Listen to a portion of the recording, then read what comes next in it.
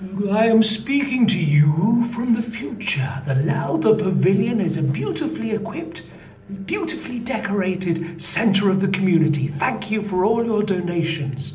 But I'm still going to have to blow up the windmill because you didn't give enough money. This is the future. You can change it. Goodbye.